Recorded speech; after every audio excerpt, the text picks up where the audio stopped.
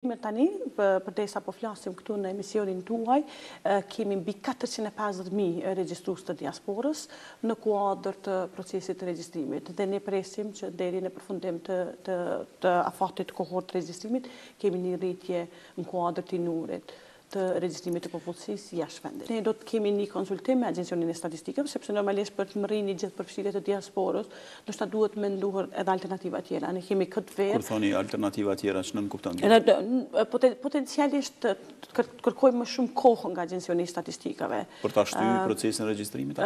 Po, për të ofru më shumë bashkatdhetarëve të jenë pjesë e këtij procesi.